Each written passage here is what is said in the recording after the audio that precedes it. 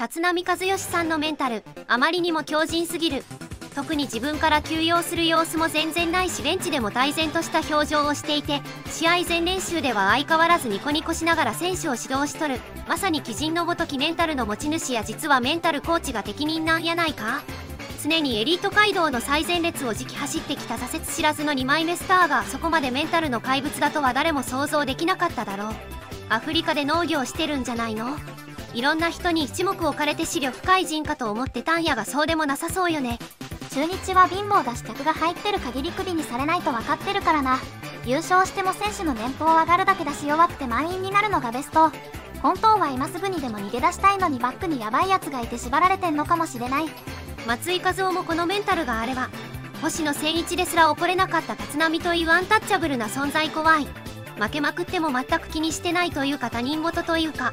プロは結果が全てそれで結果は出してるんやから堂々としてたらええやろ。もはや優勝してた頃より総年俸多いのくさ。負けるたびにインタビューで泣きそうな面さらしとる監督おるよな。そのテンタッツは良くも悪くも他人事みたいな顔しとるから安心やね。敗戦後のコメントもあっけらかんとしたもんや。ご視聴ありがとうございました。